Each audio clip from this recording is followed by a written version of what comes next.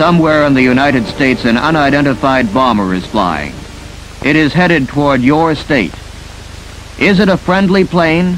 One of our own Air Force bombers? Or is it an enemy plane, bent on a mission of destruction and death? Ahead of the oncoming plane, your towns and cities don't know of its approach. Here, all is peaceful. Aircraft beacon lights swing around to guide planes through the skies.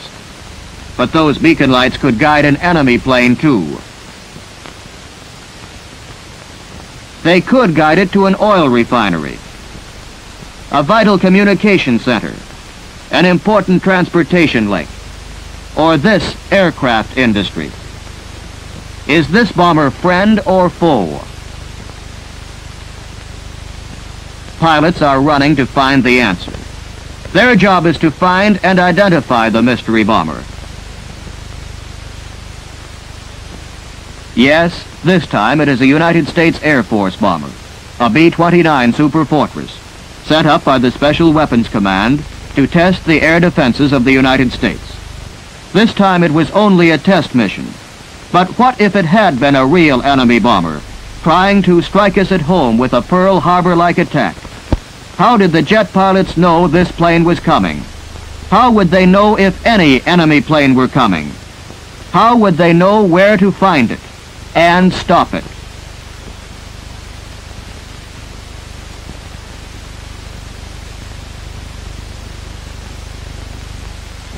The answer is in this antenna and others like it, and a nationwide network of telephone lines.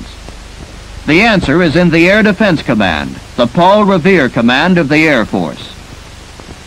An important part of the story is taking place in your state. This is the headquarters of a Defense Command Air Division.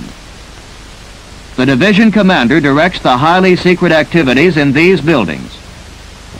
We'll go inside this well-guarded installation to see how the Air Force is working to protect the United States from destruction by sneak air attack. We'll go past the restricted signs and the guards at the doors to see what goes on inside the radar detection unit. Here in this darkened room is just one of the many radar warning stations of a network that blankets the entire nation. At each station, airmen continuously watch a radar screen like this. On this screen, any airplane flying within the radius of its coverage will show up as a tiny blip. The blip is caused by a radar signal returning to the antenna after bouncing off a plane in the air. The airman reports the aircraft immediately to the plotters working back of a transparent map. The plotter marks in the location of the airplane. He marks the plane speed, direction of flight, and altitude, all in reverse.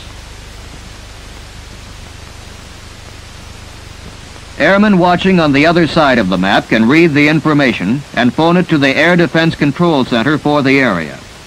This long-distance telephone connection is always open so planes may be constantly tracked on their flights. When a plane takes off, its flight plan is phoned to a CAA Flight Control Center.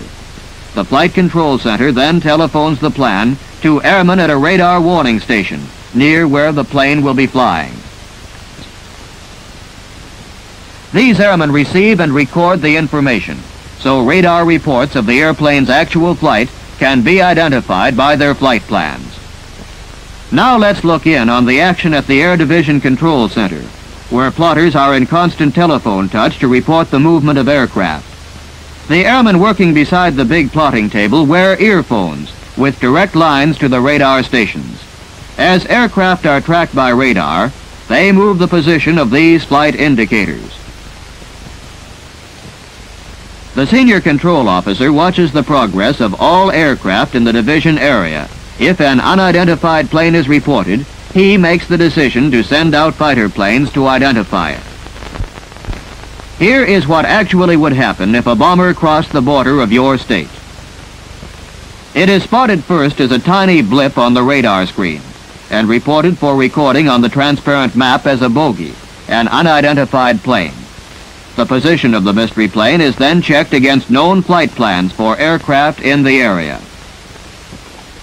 If it can't be matched, the information is telephoned to the Air Division Control Center, and the unidentified plane starts its bogey track on the plotting table.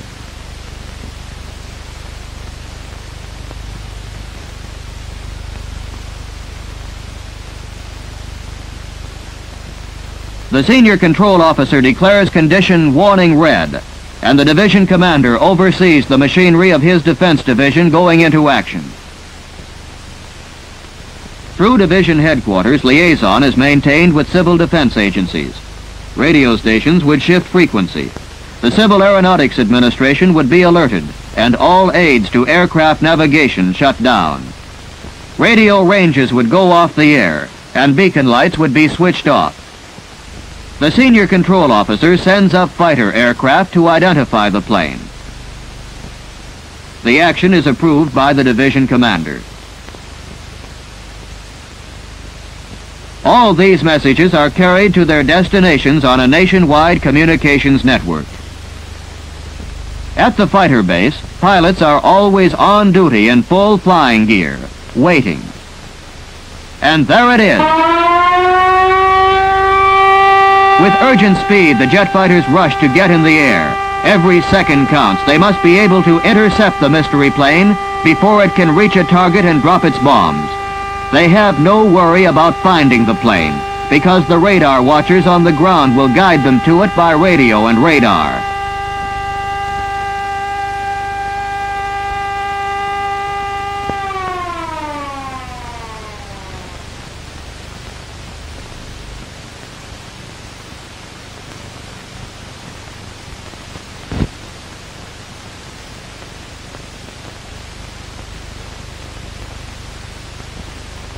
The jet fighters are in the air, and radar picks them up.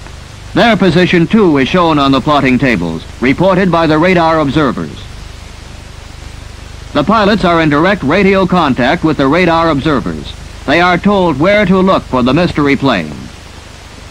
The course of the intercepting fighters and the bomber is watched on the radar screen. Fighter plane, radar station, Air Division Control Center, all are linked into one fighting team by radio, radar, and telephone contact. In this way, Air Division Control Center knows what is going on.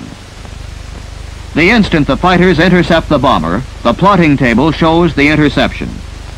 And if the mystery plane turns out to be an enemy, the fighters would attack.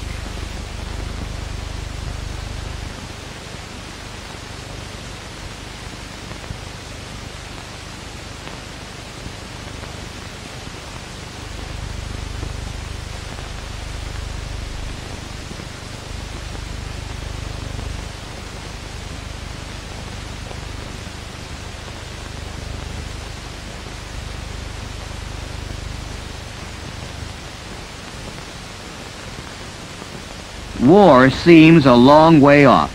We pray fervently that it never gets any closer. But you might like to know that there is an umbrella of protection spread over your family. The Air Defense Command isn't something being planned. It is operating now, 24 hours a day. For our security, it must be. Modern warfare is speeded up to 10 miles a minute. In this jet age, there is no time to light the lantern in the Old North Church, one if by land, two if by sea. Today, the modern Paul Revere looks for danger with radar. A network of communications carries the messages to alert the jet pilots, the modern Minutemen, young Americans with jet-propelled mounts, and their eyes on the sky and they are guided by the ground team of the Air Defense Command. Right this minute, these men are just a few miles from where you are sitting, seriously engaged in a giant game of chess with aircraft as pawns. But they are not playing, because we can't afford to lose.